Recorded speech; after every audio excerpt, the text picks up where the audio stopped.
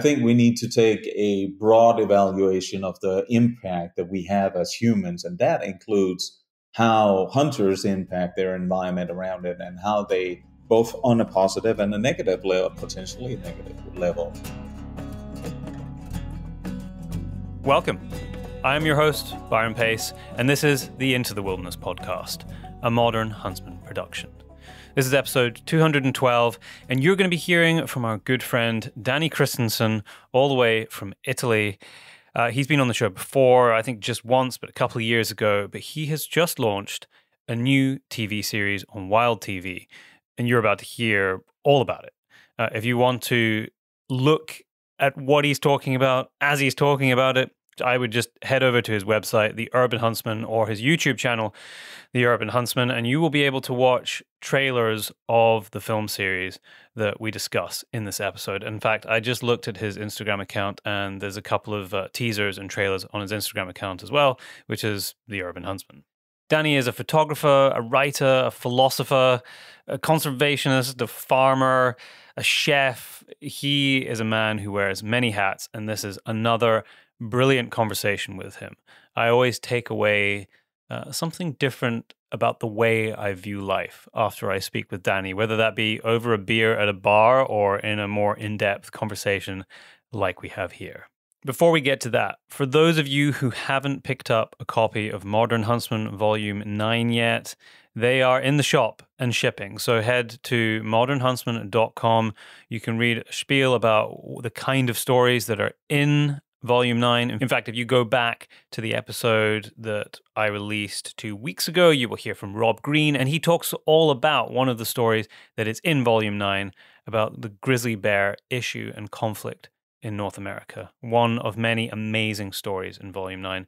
So head over to the shop, modernhuntsman.com, and get your order there. Or better still, subscribe, and you will get the two books that we publish every year to your doorstep without thinking about it and without missing it in news and new releases, if you head over to either my Instagram account uh, at Byron J. Pace or the Modern Huntsman Instagram account, Modern Huntsman, uh, you will see the first teaser of a short doc that we are releasing at the end of this month all about the wildlife artist John Banovich. So go over and check that now, and then keep your eyes out for the end of the month where we will be releasing and premiering the film on Vimeo. There will be another podcast out before that, so I will remind you all once again, and uh, I will even stick the link for the film in the show notes of the next episode. But before you hear from Danny, of course, I need to give a shout out to the top tier Patreons for this month who help make this show possible.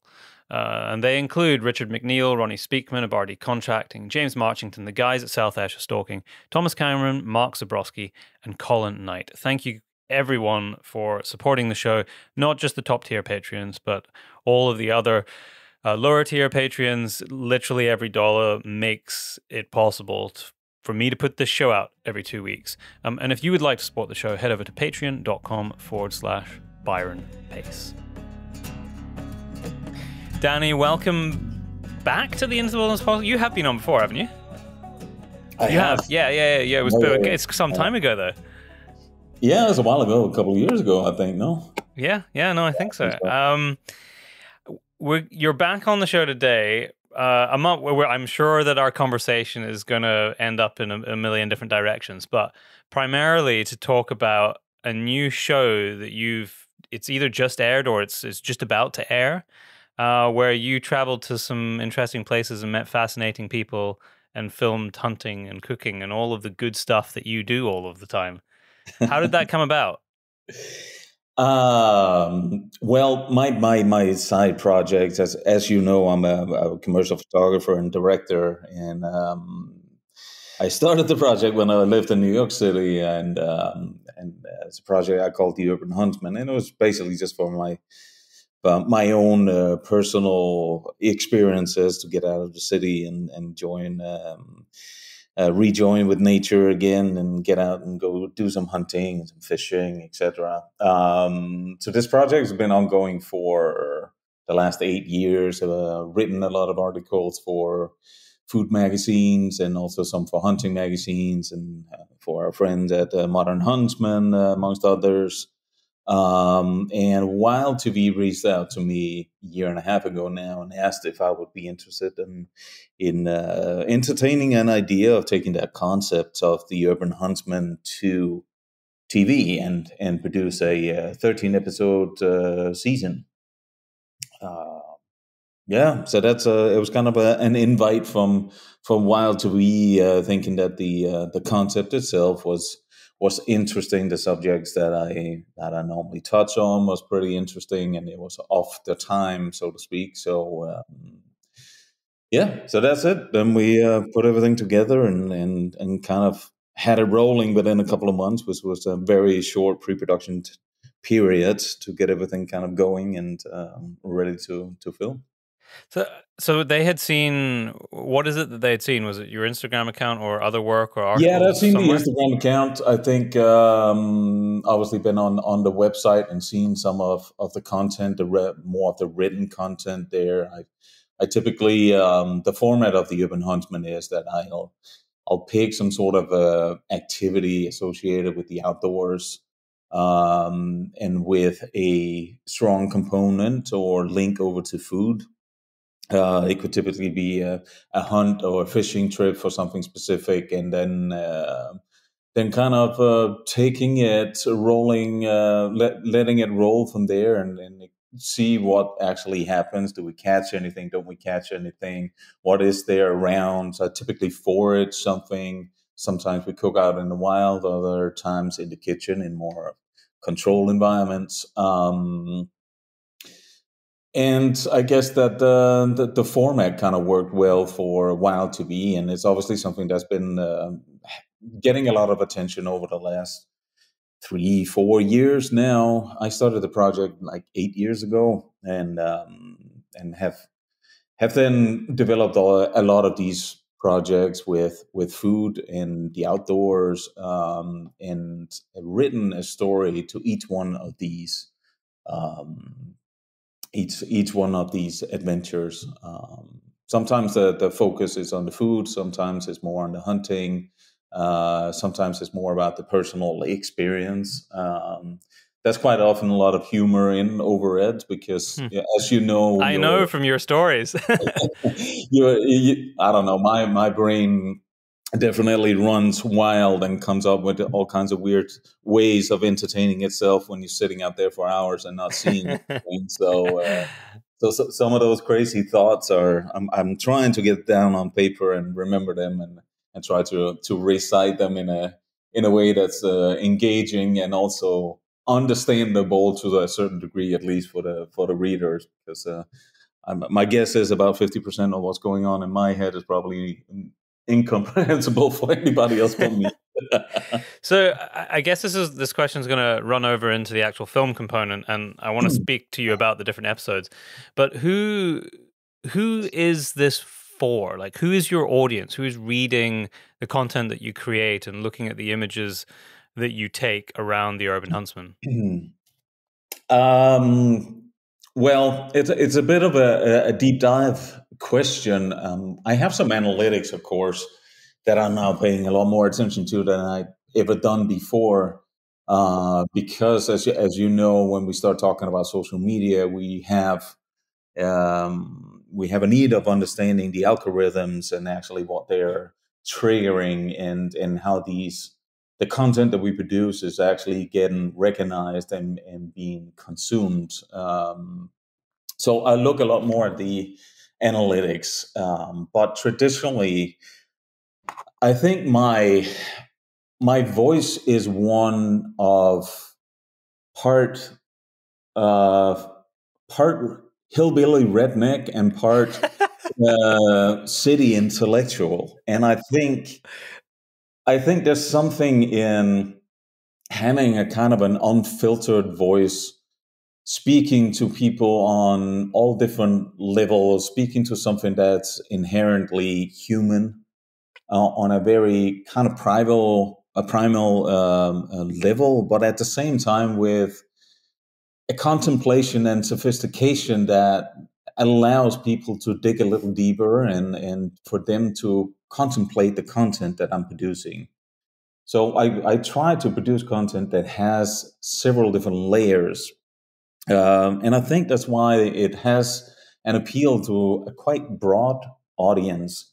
Um, I don't I don't think the Generation Z necessarily understands the majority of my voice or my humor, for example. But I think uh, from the millennials and up, there is a free speaking voice that doesn't wrap things in too much and is not afraid of of kind of taking the microphone and and saying whatever comes to mind.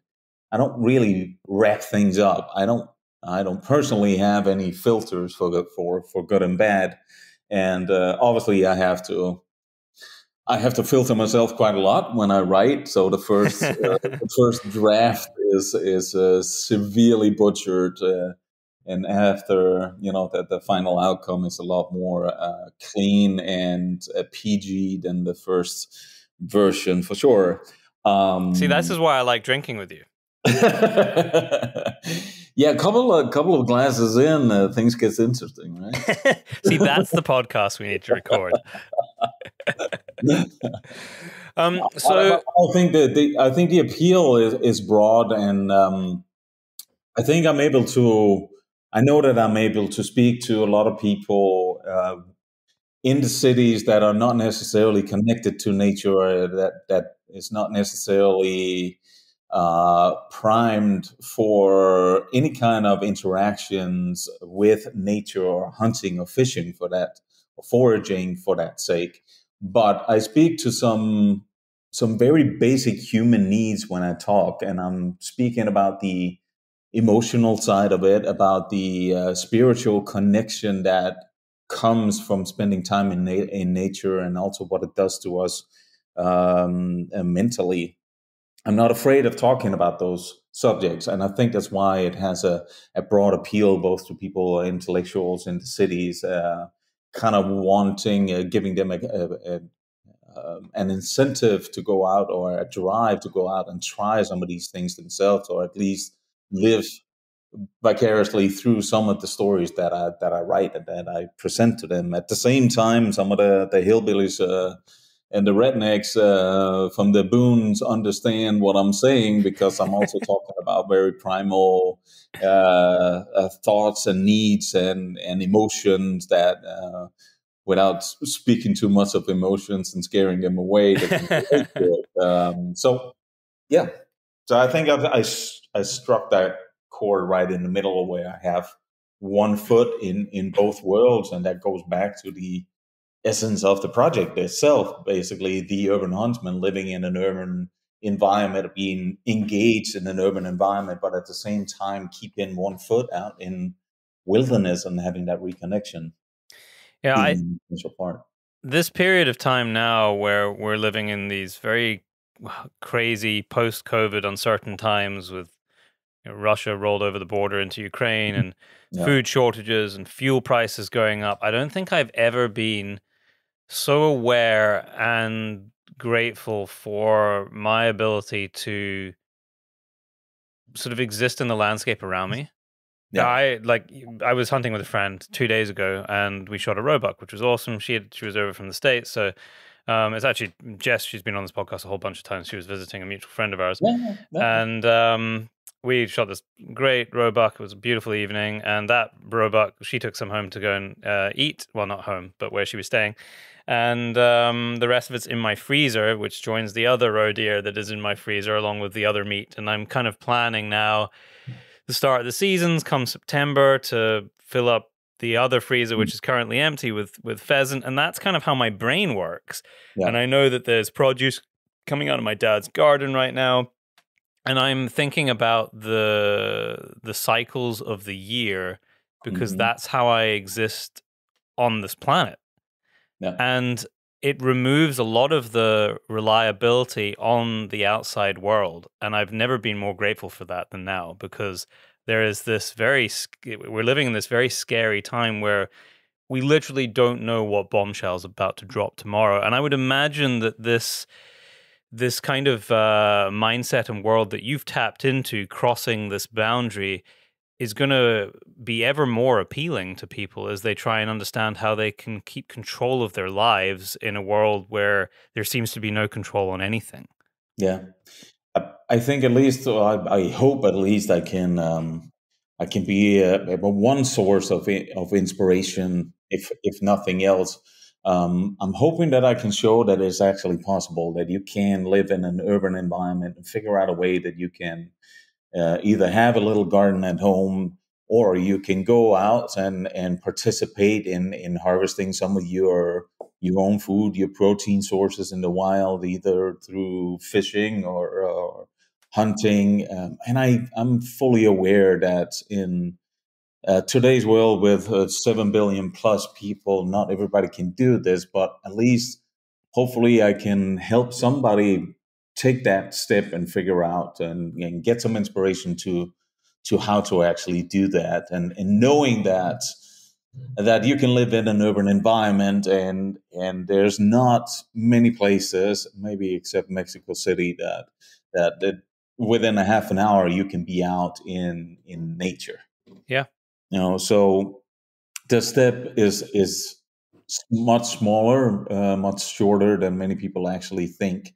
And I think um, for, for me specifically, when I lived in New York City and and was immersed into the the fashion and beauty luxury industry there and working in that, it was a very uh, it was a very far idea uh, that was uh, nowhere within seemable reach. Um, but that was simply just because there was no information sources, there was no how to's. There was no organizations that were encouraging people to do the same or take small steps or plant a little garden on the rooftop or something like that. So that came after, and and luckily we are going in that direction. And I think the self sustainability is something that is top of mind for so many people, but um, I don't know. They're they're uh, kind of like a lice between two uh, two nails because they you know they live and work in urban environments and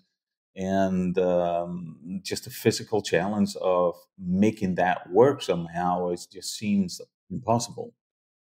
Yeah, I mean, we were just talking offline before we, we hit record about other other ways of making your life sustainable and how much you are reliant on the services that are provided for you. And you were yeah. saying that you've put solar panels on your house, and I actually, in three weeks' time, um, I have a whole solar panel and battery system being fitted to my house, even though mm-hmm. I live here in Scotland, where it is uh, yeah, the sun does not shine every day.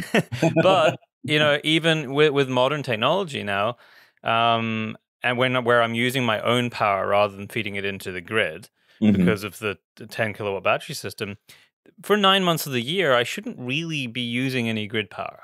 Uh, no. And that's based on other houses that you know have done it in similar areas. So there are lots of ways that you can do it. I mean, uh, you'd think sure. energy is uh, energy is one of the things that is probably at the forefront of everybody's mind right now because of the prices have gone just completely insane in the last six months. Yeah, of, of course. I mean, I, I, was just hanging out with my my childhood friend yesterday, who actually him and I were. Uh, the two bad apples in the town that we grew up in, and we were uh, we were of course the ones that were that were shooting guns way before we were allowed to, and driving cars uh, years before we were allowed. Far to. too fast, probably. All, all that, yes, all of that, all of the above. Um, but what he was telling me, he lives here in Denmark, and he has a, you know, he has a good job, but now his available amount every month has been cut in half. Uh, wow! Uh, over the last two years, so obviously it has a huge impact on people with the energy crisis and, and the inflation of, of the prices going up as much as they have. And it, it's time for some rethinking, but I understand that there's a lot of people that don't really have that ability. Um, as you know, I moved to Italy th- three years ago, planning on, on literally, you know, being 80 to 90% self sustainable. Um, it haven't worked out too well yet, but my freezer is at least filled with meat. So that part, I mean, I think I I might buy twenty percent of my my meat from organic local producers around me, but the rest of it is wild game. Um, the the garden was very ambitious. I've I, when I still lived in uh, in Woodstock in New York, I had uh, found this book that's called Self Self Sustainable on a Quarter Acre. And uh, I figured that, that that's going to work well in Italy. So I did a, a very big garden project and put um, put uh, eight big raised beds, and then I have two big plots also to to plant in. And uh, this is the the third year that I have failed miserably in in an order. This year, because of um, of water crisis, we have no water. You mean it just hasn't rained? No, it's a it's a wow. drought in, in northern Italy the climate change has now uh, resulted in a drought that's lasted since uh, basically since June last year. So oh over, over a year now we had drought, and and my house is normally spring fed. Yeah.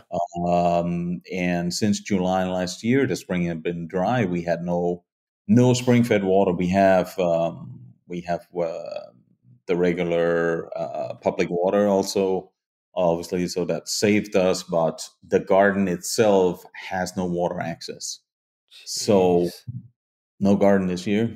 Last year, um, yeah, last year didn't work out too well either. Also for the water reasons.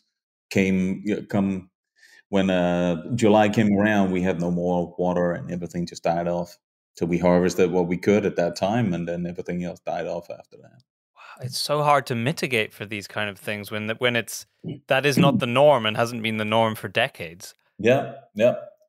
My um, the house that I bought, the old man that sold us the house is 88 and he said that it's never in his lifetime has the spring run dry run dry so there's some dramatic changes coming and i think it's it's something that I touched on in, in a couple of articles previously. One of them from Modern Huntsman, actually, about the um, the European ibex, um, because there is a reintroduction program in the southern part of, of Italy, and um, and uh, they also reintroduced the chamois the, uh, into that part. But the chamois eats this specific grass type that's the last five six years and not been able to grow there because of lack of rain and increased temperature so now that reintroduction project is just um, it, it's basically it failed.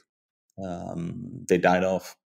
So there's a dramatic changes coming and um, and it's really hard to understand to what extent we are able to mitigate any of it uh, but but I think as as hunters we need to pay attention to that and we need to join in and and support um, the climate improvement initiatives all over the world. And now, of course, with uh, with Putin coming in and dropping bombs left and right, it doesn't really help the whole situation. But you could hope that there will be a push for more green energy again and for new solutions. Uh, but in the, in the, at least in the short term, it's it's actually had the opposite effect with coal power. Coal power plants uh, cranking up, yeah, up again uh, yeah. after years of being shot down for environmental concerns. So, so are you gonna? Are you? Can you sink boreholes on your farm? Uh, yeah, yeah, yeah, yeah. That should it should be possible, but we don't. Um, there's a lot of people that have tried that a little bit further down in the valley. So I sit up on a kind of like a, a little bit up on a hill mountainside, and I don't know how um, the groundwater levels are in that specific area. Um, but it's something that we would definitely consider. I would consider when we when we get to next year, and if uh, if we haven't gotten enough rain and and the spring has been uh, kind of restarted again, then I got to figure out a, a, solution because the public water is also, although it's drinkable, it tastes like piss. so, uh, well, that's not good. No, no. So, turning our attention back to your film series, how 13 you said 13 episodes didn't you mm-hmm. 13 episodes is a colossal amount of work i know being someone who makes film yes sir. Where did you even where did you even start trying to plan what the i mean I'm, i want to talk about how on earth you like went about actually capturing all this stuff but to begin with you got to decide well what are the stories how did you narrow it down to uh, and find 13 episodes that were going to be that were going to have this common thread but be uniquely different to be interesting mm-hmm. Well, I think one of the one of the big revelations I had from living in the states for so many years was that um, when we talk about North America and the North American model of of um, of nature conservation and how uh, hunting and fishing is an integrated part into the whole financial system that supports um, the outdoor agencies, the net, the the um, for now anyway, unless they yeah, repeal now, the act. Yeah, true, true, true. Let's see. yeah, I don't know what that tart is thinking about, but um, it it was clear that the North Americans don't really understand the depth of um, the European hunting cultures and how it differs a lot. So I thought it could be very interesting for me to bring a series to North America, and we are we are airing both on um, right now on Wild TV, and then in a few weeks on the Pursuit channel in the states. Um, so I thought it would be very interesting for me to kind of introduce North America to some more in-depth stories surrounding hunting. Um, as a as the project, the Urban Huntsman projects have been from the beginning, it, it, it's kind of one part uh, culture, travel, and then one part food and one part hunting, fishing, outdoors. And I wanted to implement that into the series and have all these um, or these three categories have more or less equal weight. Now that that um, ended up being a lot more challenging than I was hoping for, but we can get back to that. Um, but the concept itself was to introduce North, Amer- North America to a younger generations of hunters that um, actually, true to the concept itself, many of them have either a professional career or have one foot in an urban urban city environment, and then um, putting uh, putting a lot of money and time and resources into uh, uh, reestablishing that nature connection. Um, so I wanted these. I wanted the the picture of European hunters to be a younger one, a fresher one. Uh, I wanted them to see what the next generation of hunters actually looks like, um, and see if there was some inspiration there. Because as as much as the North American model is uh, great and works, there's there is certainly rooms uh, room for improvement, and I think there's some inspiration that can come from some of the ways that we handle and talk about hunting, and then we um, show a certain level of historic respect for animals, for example, and not that it has to be adapted into a North American version, but I think if we start talking about social media and uh, the incredible challenge we have ahead of us hunting in general all over the planet. Um, we have a lot of opposition and a lot of these people that are opposed to hunting are very well educated. They are digitally versed so they are on twitter they're on instagram and they know how to communicate more than anything else. Yeah. Um, and I think that's why we're losing the battle, and that's why we, in certain areas of of Europe, uh, could potentially face a, a hunting shutdown uh, if nothing dramatically changes within uh, a few years from now.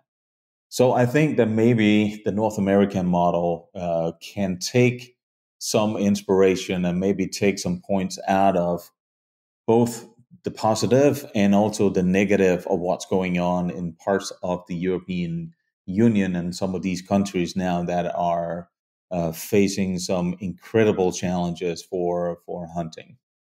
Um, so that's what we we set out to do to have a fresh voice to show that there's it's a very broad um, group of hunters. It's not the stereotypical hunter uh, that is a, a blue collar worker that goes out and shoots everything. And you know, I wanted to take away that stigma also to the um, non-hunting population and show people that are able to articulate themselves and and put words to the experience that uh, maybe these non non-hunters are not used to hearing and something that you know speak in a tone that will resonate with our basic human needs and and something that we therefore can if we not accept it at least can understand it and uh, respect hunters decision or decisions to go out and harvest some of their meat themselves and understand what the alternative might look like if mm. we hmm. don't. Fascinating. So, where did you? What countries did you did you mm. touch?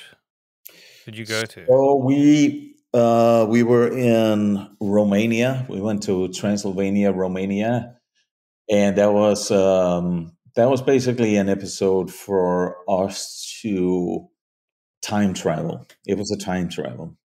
I wanted to go back to some of these areas that are considered and, and called Europe's last wilderness, where people live in remote towns and live in a way that uh, that they did a hundred years ago.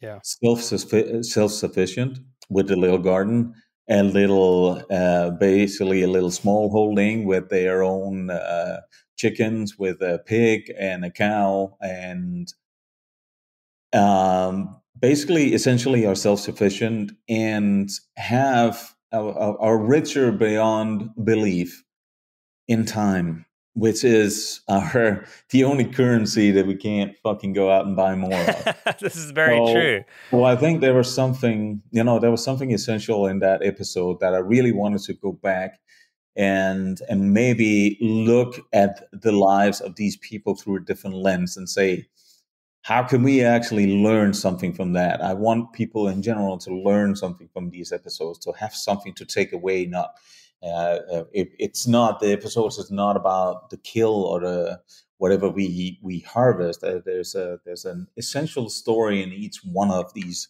these episodes, and this one here was uh, kind of like a Back to the Future episode where I, I, wanted to go back and see what we can learn, what I can learn from the way that these people are living, and and understand how I could take some of that and implement that into my own life and better my own life, better the environment, better the animal welfare around me uh, uh, in the production chain, etc. So that was a very cool episode, and that was the first one. And then we went to Hungary afterwards. Um, so, were you in Hungary working when I saw you in Hungary last year? Yep. Yeah. Yep. Last year. Yep. Exactly. We just filmed the first one at that time. Um, and what what was your focus in Hungary? Uh, Hungary, we visited a because um, they have amazing hunting culture there. Yeah, they do. They do. Uh, it's it's kind of an interesting story because as much as I wanted to dive into Hungary's hunting story and history, um, the story here is actually a different one. It's less about history and more about the future. Again, um, we visited a biodynamic winery. Okay. And the and the person that runs that is uh, is I call him the Bavarian wolf because uh, he is uh, an incredible guy that's very determined. And his name is Florian, and um, and we since been become really good friends. I, I first visited him actually with Tyler from from Modern oh, Huntsman. okay. So there's a so that's the same winery that's in in that volume of Modern Huntsman, the story. Yeah, yeah, exactly. Ah, okay, it's full circle. Uh, yeah, yeah, full circle, and I really thought that um, that he deserved an entire episode himself, and I wanted to go back there to dive deeper into his story and his philosophy. Um, of course, with the foundation of hunting and and some food, um, but he runs this winery as a biodynamic winery today, and uh, uh traditionally it sits right on the on the uh, Balaton Lake, which is incredibly beautiful. I think you visited when you were in Hungary, didn't you? Yep, yep. yep. Uh, incredibly beautiful area, but um, we know about 20 years ago, or maybe even further back, 30 years ago, um, uh, there was a, uh, enormous algae bloom in the lake because of uh, rainwater was off from all the agricultural fields around with all the fertile artificial fertilizer going into the lake and and basically it ended up killing all life in the lake itself and all the tourists disappeared because the lake was uh, essentially toxic. Um, what Florian did is not that he himself single-handedly uh, went in and saved the Balaton Lake, but he went and took a uh, conventional uh, wine estate and turn it into biodynamic uh, wine estate, eliminated all pesticides, all herbicides, and all artificial fertilizer. And everybody there was shaking their head and thinking that this guy is uh, completely madly insane and uh, this is never going to be profitable. But today, several years after, he has now developed like a biodiversity heaven in uh, all these lands that he took over and turned into to uh, biodynamic uh, agriculture practices. Uh, so I think it's a model for change. It's uh, again uh, kind of taking a step back and saying what we actually did 100 years ago was not that fucking stupid.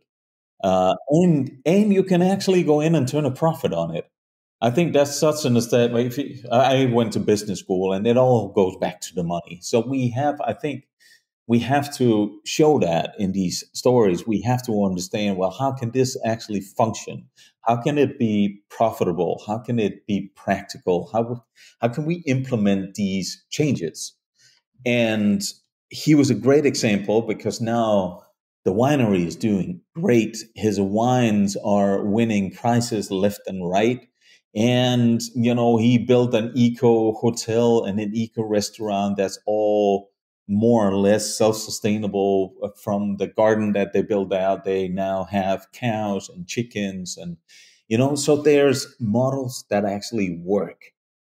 Um, and so it's a little bit of the same theme of looking back and saying how can we how can we take all that knowledge that we have today how can we take all our statistic uh, statistics and all our our ingenuity and, and go in and develop something based on a principle that's an old principle where everything is in balance. That we take a look at nature and saying, how can we interfere the minimal possible and actually make this works, uh, make it work.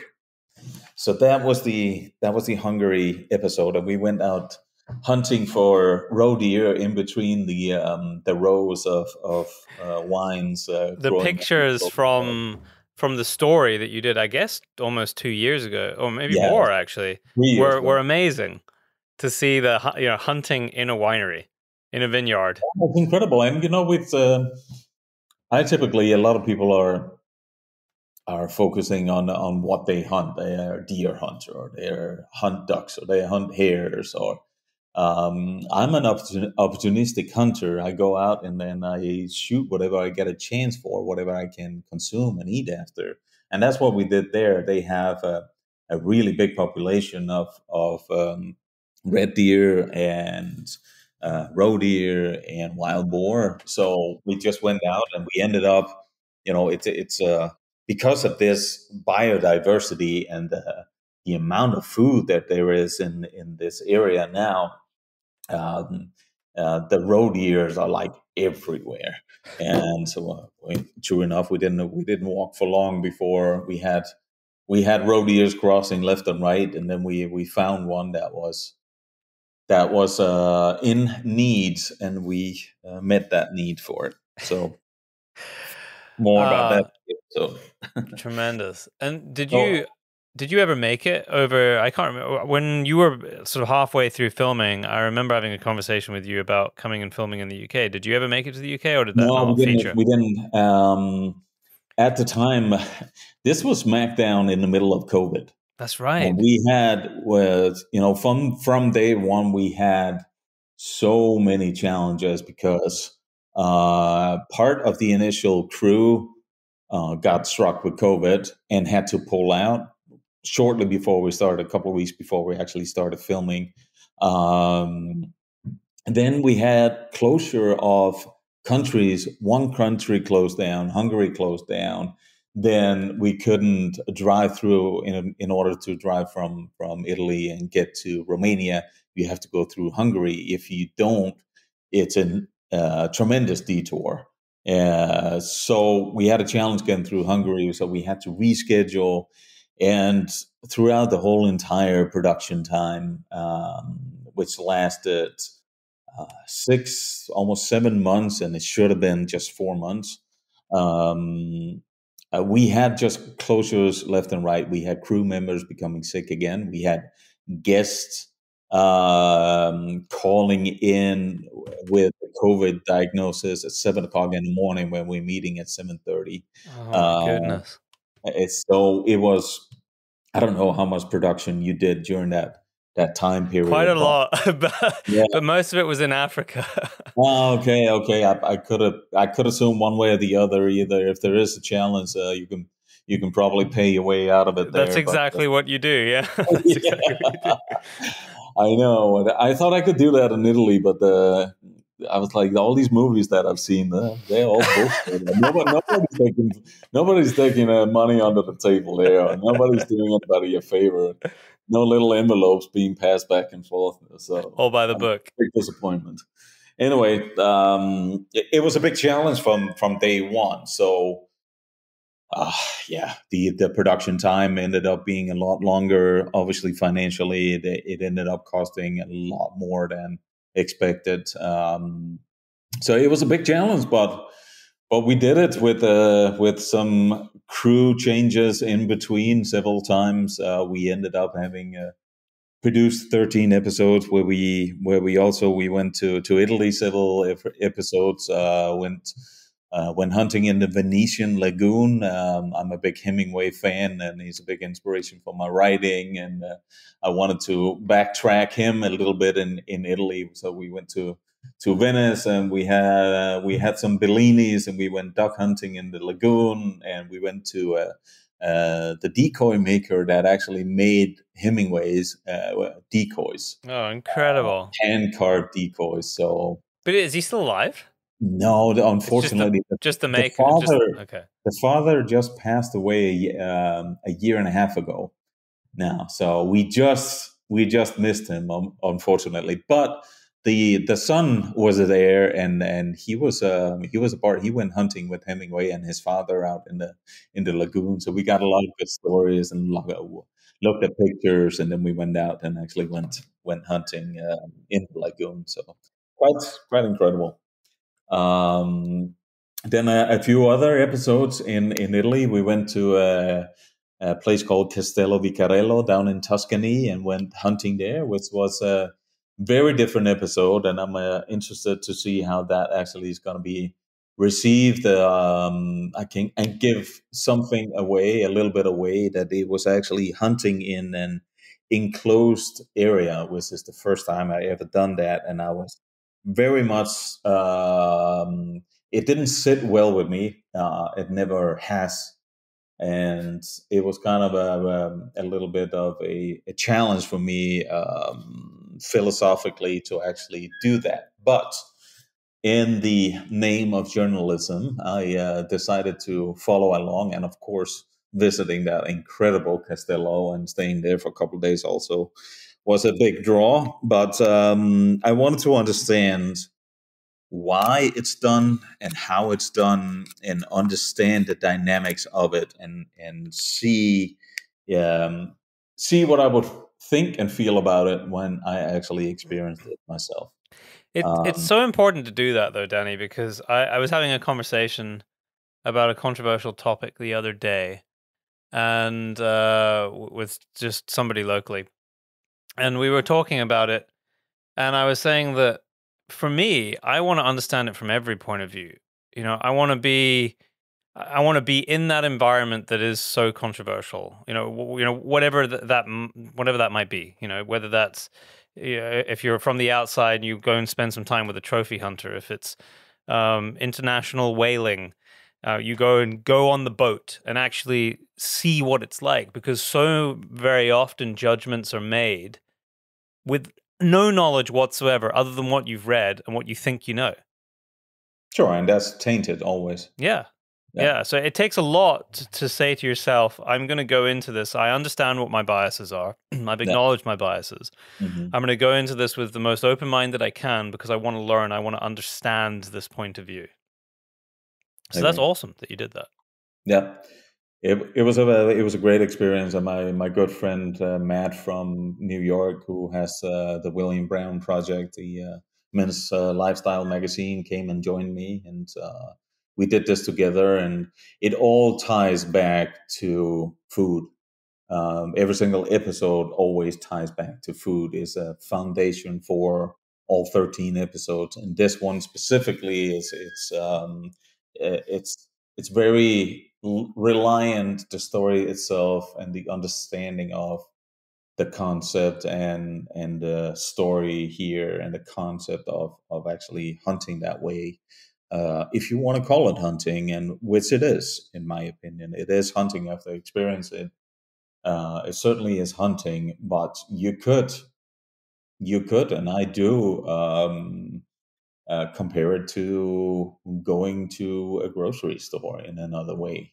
Um, so anyway, there's a lot of there's a lot of contemplation about that uh, in the episode itself, and uh, and I think it's healthy for people to see. It's also healthy for hunters to see uh, because we can pretend like these uh, kinds of hunts and this way of hunting is doesn't exist, but it does and we need to understand exactly what right to existence it has, if any at all. That's up to the individual hunter to maybe make that distinction. But uh, it's a part of the idea of hunting in general.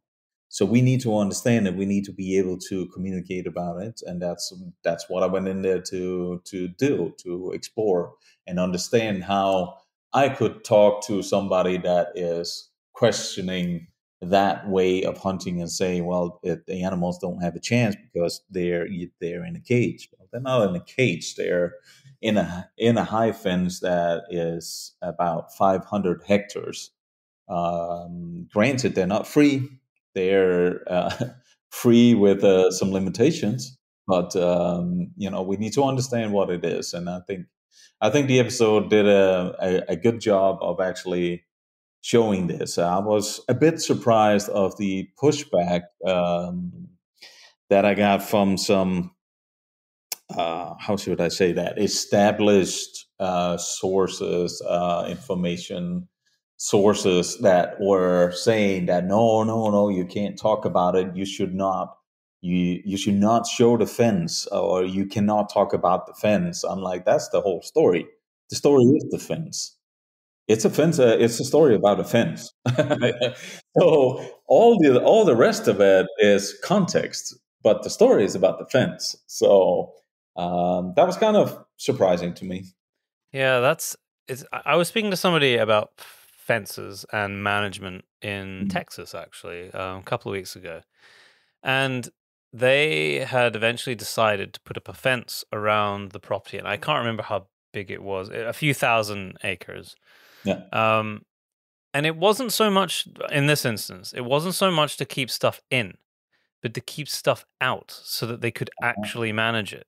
Yeah, and we often yeah. think about fences keeping stuff in, but it is sometimes about keeping things out. And yeah. their issue there was controlling deer populations because uh, it was just was physically impossible with, with the terrain and manpower. Yeah, to to control and try and reinstate some sort of dynamic equilibrium of habitat management uh-huh. with this influx of of whitetail you know, coming in, and that was the purpose of oh. their fence. So they hunt in that, and essentially is the hogs, is the is the wild boar, the hogs, the feral pigs. True. That yeah, that, that is typically. I know that there's a lot of places that actually puts up fence because uh, both of agriculture is uh, just being destroyed and decimated by all these hogs, and and also because of the the biodiversity there is it, just crumbling because they destroy and eat everything. So mm. I, I've seen that for myself, so I I know the impact. The uh, the reality is that uh, land management and the existence of humans within ecosystems is not tidy. Uh, it's quite no. messy and it's very complicated. Yeah. And it's not, and there is no one size fits all. Yeah. And you're right. like all of the all of the all of the different land uses that exist we need to understand and we need to talk about them and then we need to try and work out if they can be done better or whether mm-hmm. that's a system that needs to evolve with time uh, but yeah, to just be eradicated i think uh, we need to we need to understand that uh, we need to be open to saying that you know what we might have done some different things in a certain way for 200 years, but that does not mean necessarily that it should continue. And I think that's also something that we need to be open about and not categorically just say, well, we have done that, it's a right. I don't, I don't think that. I think we I think we need to take a broad evaluation of the impact that we have as humans, and that includes how hunters impact their environment around it and how they both on a positive and a negative level, potentially negative level. Um, and I think that's um, for me. I would like people to take away from from these thirteen episodes at a an openness to look at things uh, from all angles and being open to reevaluate uh, situations when new information comes in that requires a a an evaluation of the practices of the past. Yep. Um, so I hope I hope people can take that away from the series. Is there something in your series that really stands out? There was something that blew a particular experience that just blew your mind. Yes. Yeah. I can think, you share that? I've had a lot of hunting experiences, but um, I didn't get to Denmark before, but we did go to Denmark uh, for four episodes in total. And I'm actually in Denmark right now, and I'm I'm uh, regaining new perspectives on it uh, while being here. Um, out of the countries that I visited through hunting and through traveling, I think Denmark and Scandinavia in general, I should say, but Denmark I know best um, have a different understanding and different way of talking and communicating about hunting. There is an extremely high approval rate in Denmark of hunting, higher than anywhere else. And it's because we there's some organizations that have done a really good job at telling the entire story, telling a 360 degree story surrounding hunting, the hunting lifestyle. Um, so we went to Denmark and visited a program that's called Become Nature Wise. And it's a program that's developed between three uh, um, NGOs the Danish Hunting Union, the Danish Sports Fishing Union, and the Danish National uh, Nature Conservancy. And these three unions with financial support from a foundation that's from the Danish, uh, the, the, the, largest uh, Danish bank. And now, with government support, have developed this program to educate kids about nature, about ecology, about sustainability, about our role in the ecosystem and the environment. And that includes hunting so we went and visited this program with uh, with uh, the director that kind of was the idea man behind the project itself, and with one of the I think it's 170 plus volunteers all over Denmark that goes out to different institutions, including public schools, and teaches hunting and tell them about what hunting is. Brings in a dead uh, roe deer or pheasant and have them help clean it, uh, bring a rifle into a classroom and tell them how a rifle works and how a suppressor works and how you lay down and to get the best shot and brings in uh, a hide from a from a roe deer with bullet holes and puts uh, you know put a pencil through the bullet hole so you can see where it actually hit and understand what vitals it hits inside and paired up with mathematics, with uh, population curves, and all of that. It's an, an incredible program,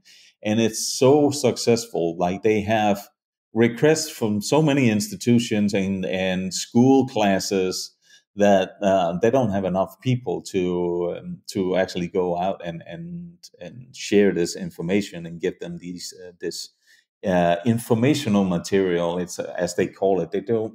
They're um, they're very uh, cautious about calling it uh, education material because that is what is coming from the institutions, you know, the official government institutions. So it's information material instead which is again a sensitivity to the um, the selection of words that we use to describe hunting.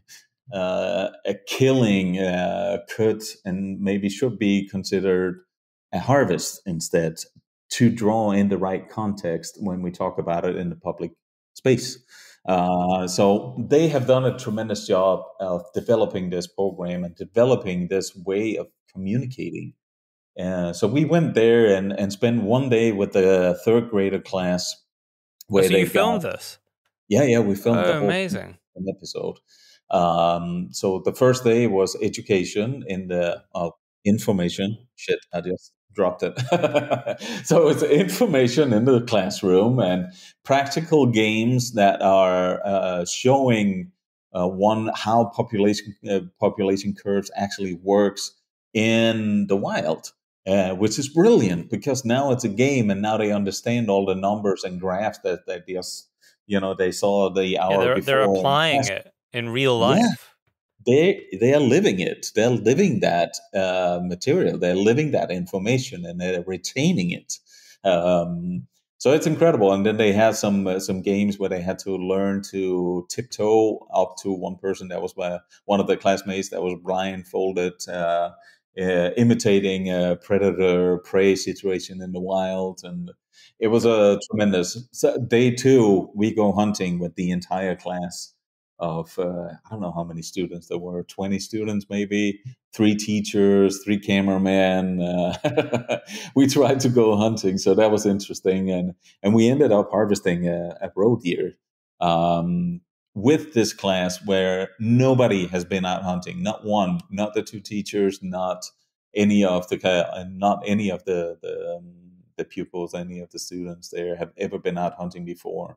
And what we found and what we saw was something that was stripped of influence from outside institutions, from parents, from media, from schools, etc it was essentially um, the the layers of the uh, the onion of these kids was just peeled back, and it was just the essentials. It was just uh, intuition and and their the basic skills that stepped in, and we saw these these kids acting like this was the most natural thing in the world which is so interesting because we know even though it wasn't their even though it wasn't their world.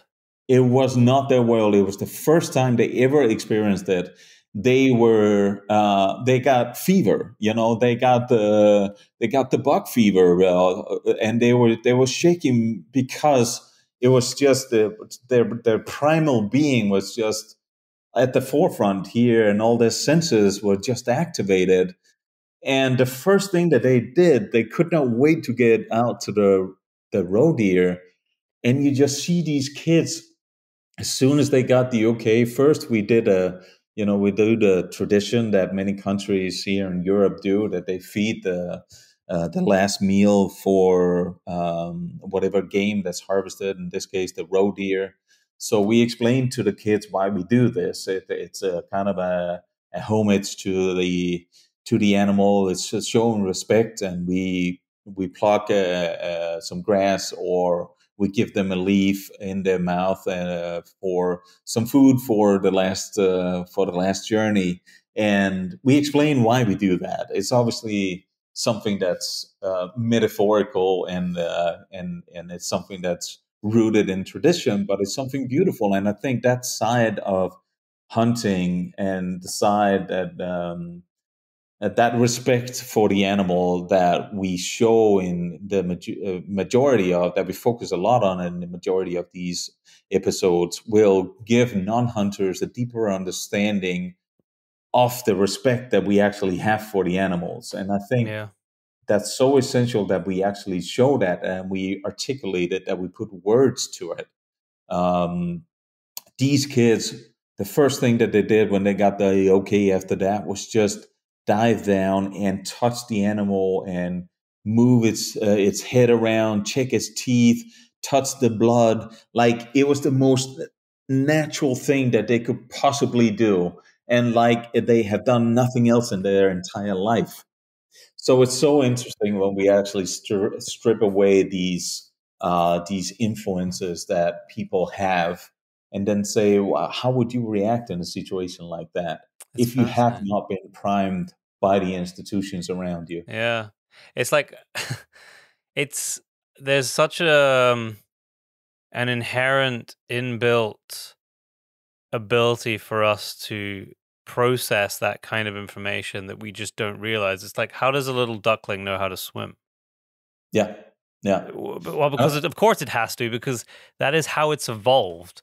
It has Yeah. evolved to be able to hatch and immediately be able to swim with its little feet and follow its mom around.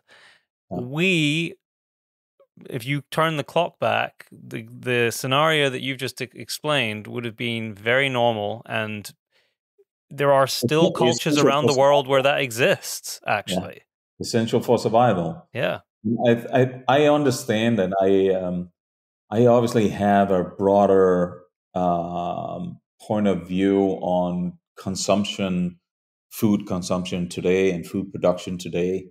Um, but I don't shy away from the fact that that is something that is inherently uh, human, and it's something that I think will have a place in the future. I understand that uh, we can't all go out and hunt, and we need to understand how we produce food in the future in a sustainable way, in a humane way. Uh, we need to understand what alternatives we might have, uh, or that we need to develop. Not that we might have, but that we need to develop uh, for the future for us to sustain ourselves on this planet with seven plus billion people. But um, the conversation needs to go back, and and we need to understand that this is something that is one part of that solution. Absolutely. Well, Danny, it sounds like a, a fascinating series, and I uh, I haven't I haven't seen an episode yet, and I, I can't wait to watch the first episode and get through thirteen of them. And I'm uh, uh, just from what you've described, I hope that it's I hope that it's well received and received by a broad spectrum of people because I guess that's that's the aim here. It is the aim. I mean, I, I really hope that this. Um, I've, we we are talking to a distribution company, and um, I, there seems to be some interest from some uh, general TV stations, and I hope that we can take this. Maybe not season one, because one of the things that you you have to kind of keep in mind is who you're talking to, and you have to be sure that you're that you're gaining their uh, interest also. So I think for me in um, in season one, the uh, the episodes are a little heavier focused on the hunting part than I would do for the future. Um, but there's a, there's a lot of food and there's a lot of hunting in all of them. But the culture side of it uh, is a little bit suppressed, unfortunately. But um, I think it will have an appeal to the broader audience, and I hope that in the if not season one, then from season two, that we will be on on different TV stations, also on general TV stations, and and be out broadcasting to a,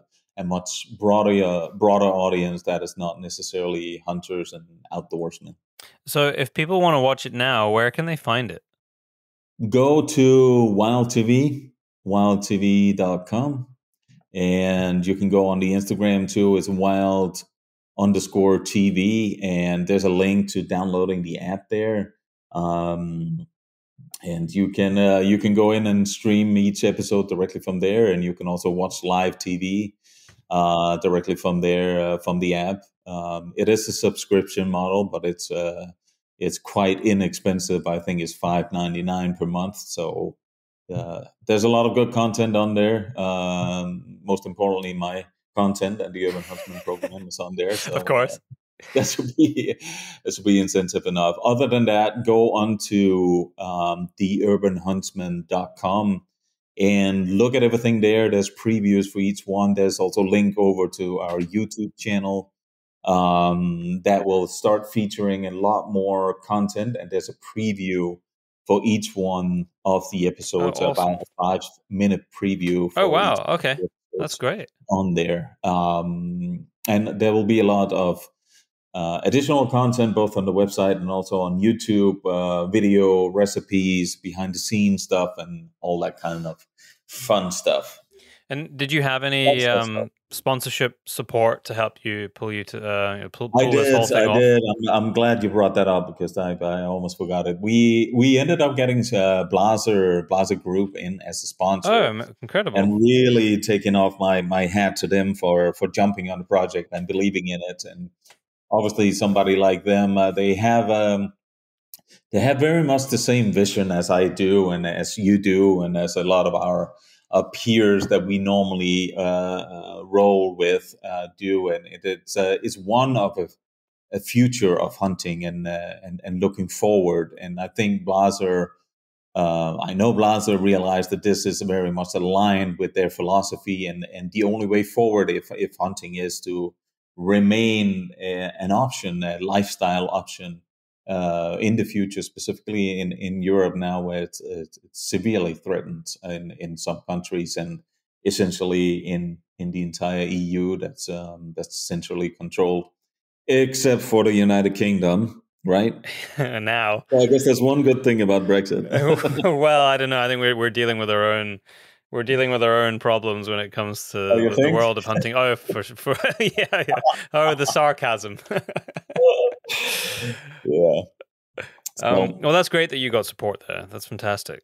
Yeah, it's really um, um I can't thank them enough, and um, and they are also coming in and and being uh, um, open for support for the future season. So um, very happy about that. I think there's other other institutions and companies in within hunting that needs to step up and actually put um, their money where their mouth is and their money where their business is and yeah. understand that it's uh, severely threatened uh, and they need to step up and actually actively engage i think one of the biggest challenges for the production itself and that was something when you and i met the last time that i brought up on the symposium that we you and i were both a part of is funding centralized funding for telling the story of hunting the right story of hunting. Yep.